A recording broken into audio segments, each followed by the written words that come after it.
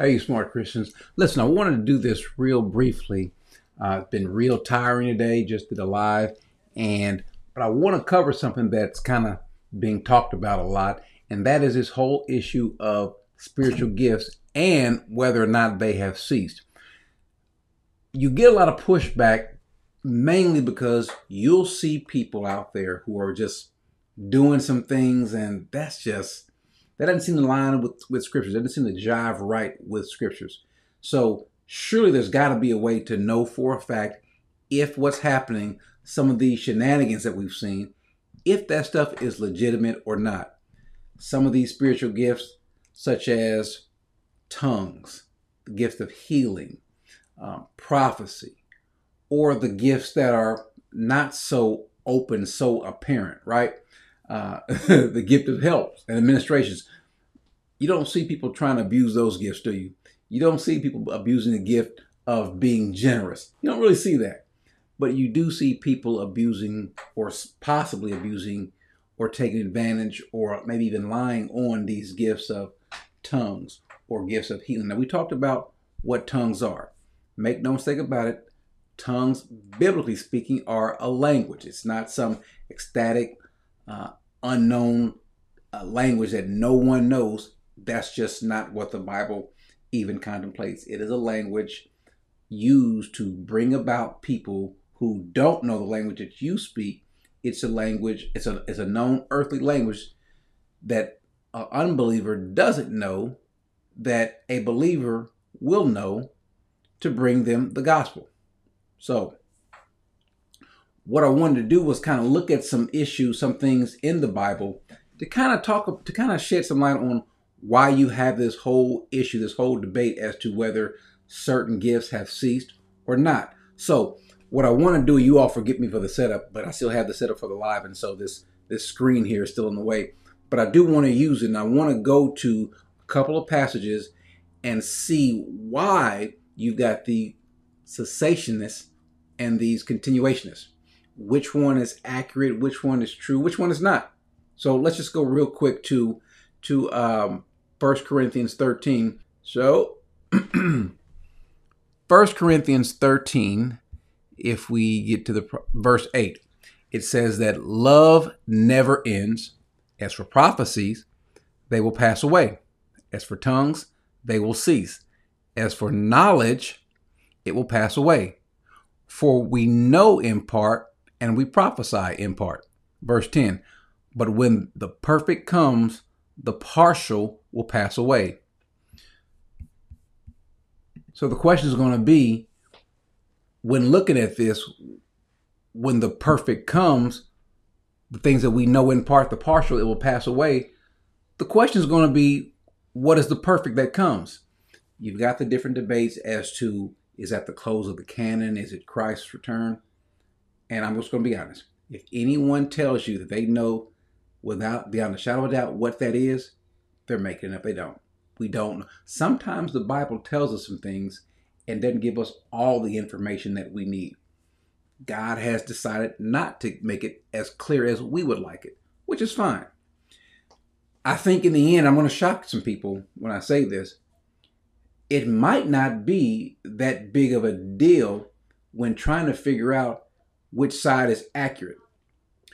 Some of the arguments that the uh, people in the in the cessation camp would hold to that kind of bolsters their point is that gifts like these sign gifts, these miracle gifts, or what are called the apostolic gifts, though the Bible didn't call them those, but you can see why, because these particular gifts are visible. They are these apparent and outward sign gifts. The reason why there's a there's a a hesitancy to believe that they're they're still in place because what they were typically used for. Usually you would see these kind of gifts accompany someone who is trying to show or to prove to unbelievers that these are or or, or what's being preached or what's happening is a legitimate um, issue from God. It's something that, that that is certainly from God. You see it in the Old Testament when uh, prophets, or let's say Moses, to verify that his message is from God, there were some signs that accompany that. You see with other prophets as well. You see with Gideon. You see all these different people who are speaking on behalf of God, who are given a revelation of God. There'll be these, in, in often cases, these accompanying signs, these accompanying gifts, right? Same thing when it comes to the founding of the church. You'll see these signs accompanying the word of God to give validity to people who may not otherwise believe that it's of God. When Jesus came, what did you see accompanying what did you see accompanying Jesus? You saw obviously some signs, some miracles, some things that people had no no choice but to say this is definitely of God, right? And so at the founding of the church, how would anyone, someone who's not ready to believe, how would they know for a fact that this is of God? Well, there were these accompanying signs, like on the day of Pentecost. You got these men speaking these languages to all these different people who are from different parts who understood it, heard the gospel, and became believers. You would see these apostles, these signs and wonders following them, which is also another reason why we know for a fact that there are no more apostles today. Uh, and if there are, where your signs and miracles that should accompany you like they did others. But without getting on that again. And so when we look at some of these gifts, we don't see these gifts happening further on as we go into the epistles, into the end of the Bible. Uh, chronologically, they seem to stop at a certain point. Why is that? For example, tongues. We don't see after First Corinthians the issue or the gift of languages being mentioned. We don't see the early church fathers talking about tongues or languages. Now, does that mean that because the early church fathers don't talk about it and they don't recognize they haven't experienced they haven't experienced it or they don't see it, does that mean that the gift that by itself is good enough to say that the gift is no longer in use? No, but it does let us know that these were the disciples of the of the apostles and they themselves don't see this. As a matter of fact, in their writings, they have they written that they don't think that these gifts are around and that these gifts were only used for the to give to give validity to the founding of the church. And so, have they ceased? Are they still in continuation? Do we need them? that part could probably be debated um, as to whether we still need them. I personally don't think that we need those gifts to know that the word of God is true and accurate. I believe we've got enough. As a matter of fact, truth be told, even with all those gifts, if they were still in play, just like then, everyone is not going to believe just because they saw these miracles. They didn't all didn't believe when Jesus was. As a matter of fact, some of the same people who saw the miracles and experienced the miracles of Jesus were some of the same people who turned on him and yelled, "Crucified, crucify!" crucified." So, seeing the gifts aren't necessary. It just kind of it's something that it's going to stand in judgment against you when you sit and say, or when you are brought before the Lord and you brought before judgment. Well, wait a second, you had these gifts and you still didn't believe.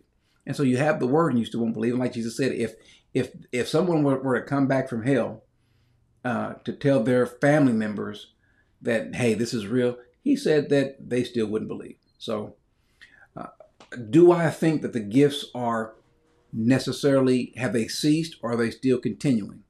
Well, I think something that Paul says might almost, I don't want to say total, but may almost make this a moot point.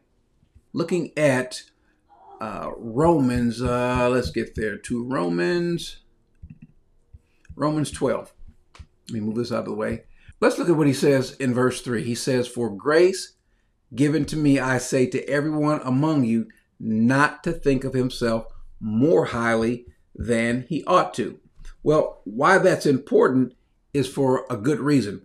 It's important because remember, people, if you've got these gifts, it's going to be easy for you to think that you're something special, right? You can you can become boastful, you can become proud, you can feel like you're the man, and so it's no coincidence that people who claim they have these gifts they present themselves as somebody special and people view them as somebody special not to know that not to say that they really have these gifts or not but if someone thinks that this person has the gift of healing or the gift of um, tongues or prophecy if you think this person has that you're going to look at him as a special person right and so going back to the passage he says for as i'm sorry uh, but to think with sober judgment, not to think more highly of yourself than you ought to, but to think with sober judgment, each according to the measure of faith that God has assigned.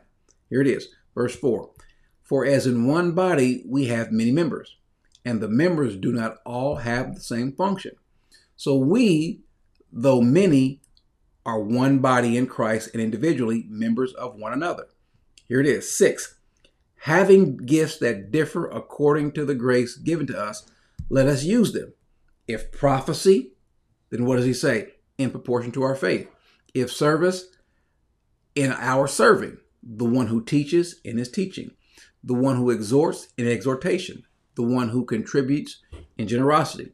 The one who leads with zeal. The one who does acts of mercy with cheerfulness. So what is it? What is he saying? Why why is that important? And why does it may all almost make this a moot point? Well, I remember speaking to some people who said that, uh, hey, this guy over here says that he has a gift of healing. Do you think that's true? Well, I said, let's say he does or he doesn't. If he does have the gift, wouldn't that be wonderful? Let's compel him to go over to the hospital to heal some people. So, as Paul says, if you've got these gifts, going back here, he says again, to the person who says he has these different gifts, if prophecy, well, then guess what? Prophesy. when Muhammad goes to these Jews and he's trying to tell them that he is a prophet, the Jews said, okay, we don't think you are, but if you're a prophet, prophesy. Tell us something. So if a person says they have the gift of healing, fine, okay, let's see them. I don't think you have the gift of healing. I could be wrong. I could have misunderstood everything that I thought about the Bible, or I could have misunderstood this whole issue of gifts ceasing or not. On the chance that I may have been wrong about this gift of healing that you say you have, well, fine. If you have the gift of healing, then heal. If you have the gift of prophecy, then prophesy. Now, if you mess up, if you are in error, if you've lied, we are going to hold you accountable. And we're going to mark you and we're going to call you out. And we're going to let everyone know that you are not who you say you are. Because what's happened is you've got all these folks who are abusing or lying really about having the gift of healing, the gift of languages, uh, all the, the gift of prophecy, all these different outward gifts. Well, let's verify them because those who had those gifts who the Spirit empowered in those particular gifts, we see them. Paul didn't go around talking talking about how, how much he was endowed with the gift of healing or prophecy. He just did it. And so he says, if you got that gift, then do it. Whatever you've been given by the Lord, because again, he says in 1 Corinthians 12, 7 that all of these spiritual gifts, they're given for the benefit of the body, not for yourself. So if you got the gift of healing, don't just waste it on healing yourself. If you've got that kind of gift, heal some people, right? Isn't that what love would tell you to do? But if you don't, then you may it, that may be the key indicator that you are a fraud. So if a person says that he has a gift of languages, well then fine. Go to one of these countries where there is no um, they haven't translated the Bible totally, or they need more translators. Go to one of those countries and let the gift of tongues, the gift of languages, flow through you and speak to them in their language so they can get the gospel. Why don't you allow yourself to be used? if you've got the gift of prophecy, and I don't mean the gift of foretelling, I mean forthtelling, you say, or these prophets will say that they have the gift of foretelling, telling the future. Well, fine. Tell us the future. Tell us. Not like some of these prophets who, who, who prophesied about Trump winning and then he didn't. Of course, here's what's funny, I believe. If Trump were to come back and were to run for office again and to beat Biden, you know what they're going to say, right? They're going to say, well, that was a prophecy that I had all along that he was going to be put back in office. And with some of these people, there's just no winning with him. But tell them, hey, prophesy. Give me something and let's let's see. And if if not, we are going to we're going to ostracize you. We hold God's word in high value. And so if you lie about it, we've got to call you out on that. And so if you're a prophet, which means you have this high standard, you should, it shouldn't bother you anyway. So if you've been given these gifts, utilize them. But again, there's this pushback to say that people who have lied about these gifts, the natural tendency is to push all the way and say there's no possibility whatsoever. Well, which side is right? I say I lean more towards certain gifts having ceased, but I'm open to being wrong. And if I am wrong, I'll simply say what Paul said. If you got these gifts, then use them. Let us see. Let the love of Christ, the Spirit, flow through you, and let's take you to the hospitals. Let's let's get COVID under control. Let's get cancer under control. You who have this gift. So, whatever the gift you have, use it. If you believe that these gifts have not ceased, then make them evident to those who believe they have. Amen.